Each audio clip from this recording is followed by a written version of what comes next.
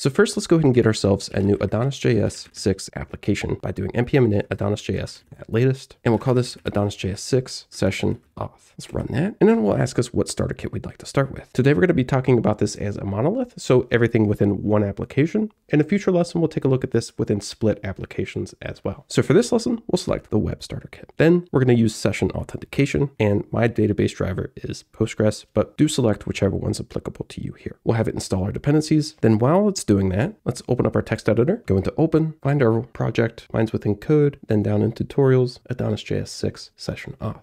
Open that up. And our output's going to show that we're missing an environment variable for DB database. We'll take care of that here in a second. But before we do, let's dive back into our terminal and make sure everything installed okay, which it did. So before we start our server up, let's go ahead and take care of our environment variables. For the most part, everything that's here already is a-okay to leave as is. We just need to fill out our database password. Mine's the very secure password. And then our database name. I believe I have one called test. Then let's hold Command P and dive into our routes file. And let's create our routes for our authentication. So we'll do router dot, and we'll put these inside of a group. So we'll define a callback function and any routes that we define within this group will get applied to the group. So we can name this group as auth. If you wanted to prefix the URL as well, we could do that there too. We'll leave that out for right now. As for our routes itself, we'll do router.get slash register. And we're going to need some controllers to actually house the logic within. So let's jump back into our terminal, clear that out. Let's go ahead and CD into our project. So I name mine AdonisJS 6 session auth. There we go. Clear that out once more. And then we'll do node ace make controller. And what I like doing for my authentication controllers is having one controller per action that we have for authentication.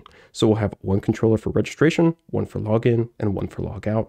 And that just helps keeps things clean as our authentication logic grows throughout the life of our application. And furthermore, we can put all of them inside of a single directory called auth. So if we just do auth slash, that will put whatever we name here. So let's do register to create a register controller inside of an auth directory. Then for our register controller, let's also create a show and a store method inside of there. And let's keep our register name singular by doing hyphen s. Let's run that. And there we go. While we're here, let's hit up and change register to login. And let's run that. And we'll do one more for log out. So let's go down to log and add out there. Cool. So our controller should be good. Clear that out. And let's go ahead and verify that our server will boot up. So let's do npm run dev. Awesome. Let's hide that away. And let's dive back into our text editor. So for our register route, we're going to want to use our register controller. So we'll hit tab to auto import that. And specifically for this one, we're going to want to use the show method. And then we'll name this route as register.show. So the full route's name is now auth.register.show. Since we've defined this route inside of our auth router group, give that a save to fix all of the formatting. Let's give this a quick copy, switch our get to a post. This will handle our register form submission. We can keep the URL the same here, switch over to our show and change that to store and change our show to store there as well.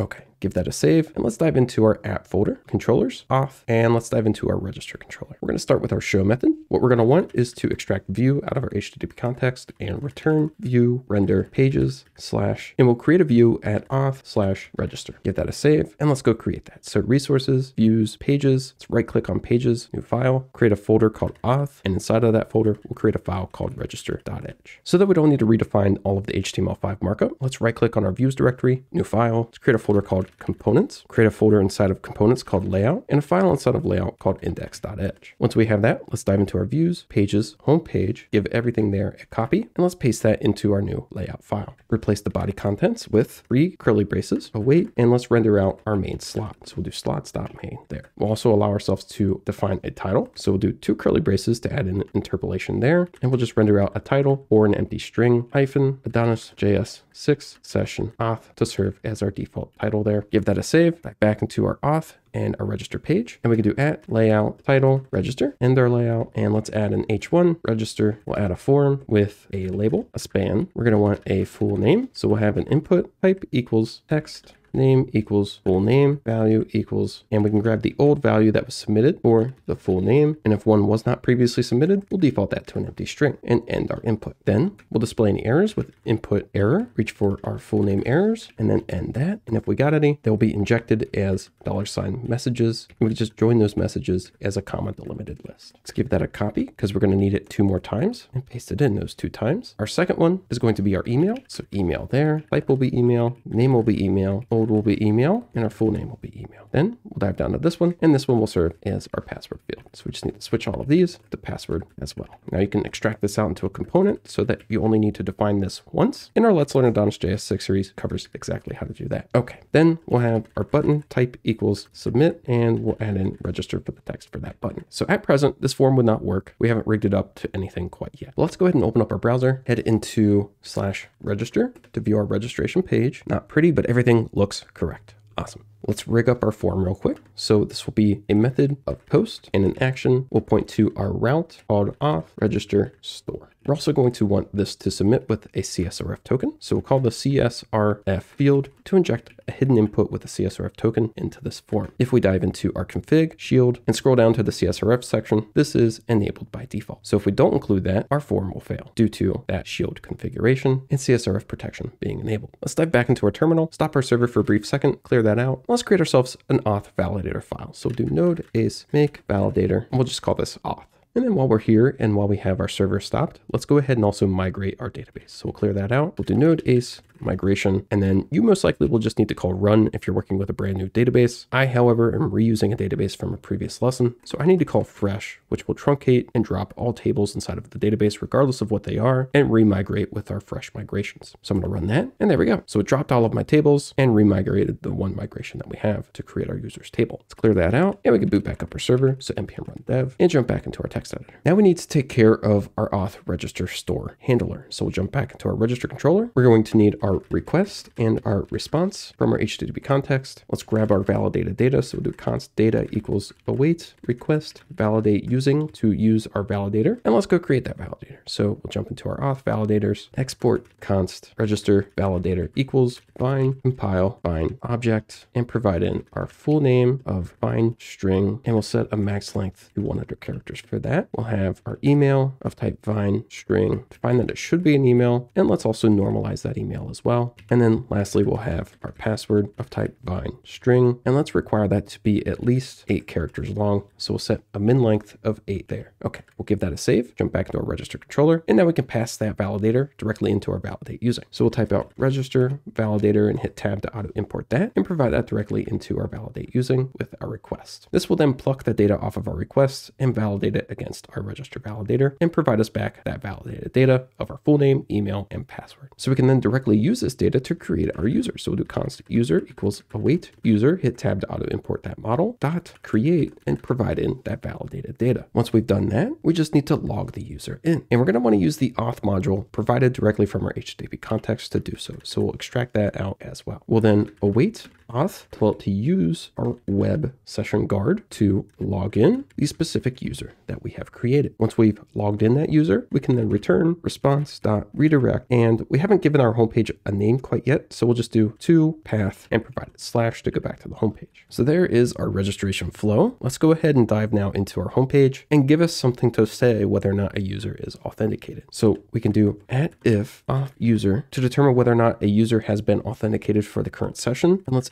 that if. So if we have an auth user, then we'll say logged in as, use string interpolation to reach for auth user, and we'll display out the full name. Let's give that a save. And if we're not logged in, so we'll add in an else here. Let's display a quick link to our register page. So ahref route auth register show and provide it in the text register there. Let's give that a save, jump back into our browser, and let's go back to our home page real quick just to verify that it only shows register here. Give that a click. We go into our register page. I'll enter in my full name, some email, and some password. We'll hit enter to submit that. And everything appears to have worked. We got redirected back to our homepage, but we still just see register. So we are actually authenticated, but this request just doesn't know it because we haven't informed it to check for that authenticated user yet. So let's go and do that real quick. So let's hold Command P and dive back into our routes. And let's switch our home route from using the on to router.get slash so that we can define this with an actual route handler. And we'll just return ctx view render pages home. Okay, let's get rid of that. Then to check for our authenticated user on our session, we just need to await ctx auth and call the check method. This will check for an authenticated user and populate our auth.user with that authenticated user's details if anyone is found. Otherwise, it will continue onward and our auth.user will just be null. So we can save that. And with that save, let's go ahead and dive back into our browser, give the page a quick refresh, and there we go. We see we're logged in as Tom Gobich now. Awesome. So before we can cover logging in, we need to be able to log back out. So let's do that real quick. Dive back into our text editor, jump down to our routes, and let's add in a new one called router.post slash logout. We'll have our logout controller handle this. And we created this with a show and store. Let's just call that one handle. We'll go fix that here in a second is logout. We'll give that a save. And let's go dive into that logout controller and replace one of these methods with just the word handle. Get rid of the other one as well. Within here, we're going to want our response so that we can redirect back away. And we're going to want our auth as well. So we'll just await auth dot tell to use the web guard and log out the current session. Once we've done that, we're good to just return response, redirect to, and we'll point it to our homepage. Give that a save. And let's dive back into our homepage. And if we are logged in, let's add in a quick form method equals post action equals route auth dot logout. Add in that CSRF field and a button of type submit that says logout. Give that a save. And now we should be able to dive back into our browser. We see that button, we can click it and voila, we're now logged out. So lastly, we just need to add in our login flow. So let's start with our routes once more. So we'll dive back into our routes file. Let's give both our register routes here a copy and a paste. Click in the middle of our register word, option command down to get double cursors, option right arrow to jump to the end of the word, and option shift left arrow to highlight and select the whole word for both lines. Switch that to login, option right arrow two more times, option shift left arrow to select the entirety of register controller, and let's switch that to login controller and hit tab to auto import that. Option right arrow a few more times to jump over to register, and option shift right arrow to select the entire word register, and let's replace that with login. Okay, give that a save, scroll up and dive into our login controller. Show, we're just going to want view, and we'll return view render pages auth login, and let's create that page real quick. So we'll dive down to auth, right click register, give that a copy, right click auth, give it a paste. With register copy selected, we'll switch that to login.edge. Do a quick find and replace for the word register to login. We'll tell it to be case sensitive with that search and replace all finds. Okay, then we'll scroll up. We won't need our full name for logging in, so we'll get rid of that. Replace our auth.register.store with auth.login.store, and we should be good to go with our form now. Give that a save, jump back up to our login controller, and let's take care of our store method. So we're going to want our request, response, and auth out of our HTTP context. And first, we're going to want to grab that validated data. So let's go back into our auth validator and define one for logging in. So we'll export const login validator equals vine.compile, vine.object. And I'm just going to go up and copy our email and password, paste it in here, and we'll get rid of the min length requirement for our password since we aren't actually going to be storing it, but just using it to check. So we'll make that one a little bit more fluid there. We do still want our email to be normalized though, so that that check is the same as what they registered with. So with that in place, let's jump back into our login controller and let's get our validated data. So we'll do const data equals await request validate using, and we'll use our login validator. The next thing that we're going to want to do is get the user matching the email and the password that was provided in. And if we take a look at our model for our user, we're going to see this auth finder added in here by default with the UID set to email and the password column name set to password. This auth finder is then composed into our user model, and it's going to add in a couple of things for us, like being able to verify our user's credentials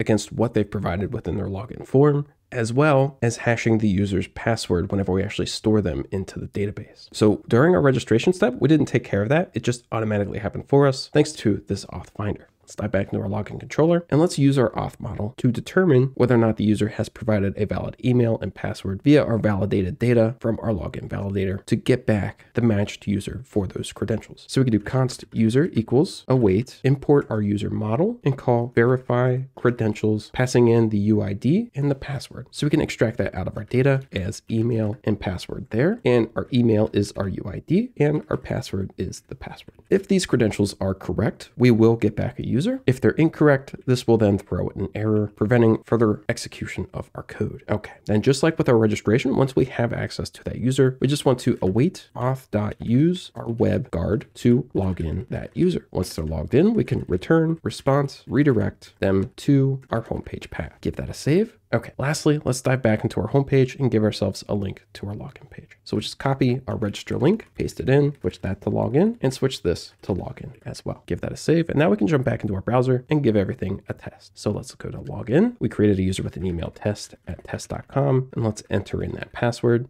run that. And now we're logged in as Tom Gobich. We can log out. Let's go back to login. If we enter in test2 at test.com, which does not exist inside of our database, and some password, we run that. We get redirected right back here. Our email is auto-populated thanks to that old check. And if we wanted to, we could display an error here as well. So if we dive back into here, let's go into our login page and let's add in a quick inspect call to flash messages.all to see what we're getting back. Okay, test2 at test.com, some password, run that. There's our old email email value. And we can see that errors bag now has e invalid credentials specifying invalid user credentials. Okay, so we can dive back into our form here and up above our input fields, we'll do at error. And we just need to provide the key of the error from the errors bag here, which is e invalid credentials. So we can give that a copy, jump back into here and provide that into this errors tag. We can end that. And now if this error tag finds an error called e invalid credentials, it will provide that particular error via message. So we could display that just like so. Let's give that a save, jump back into our browser, give this one more test. So test2 at test.com, some invalid email there, run that. And there we go. So now we got invalid user credentials. We keep the old email and the password is omitted from the old automatically as a measure of safety.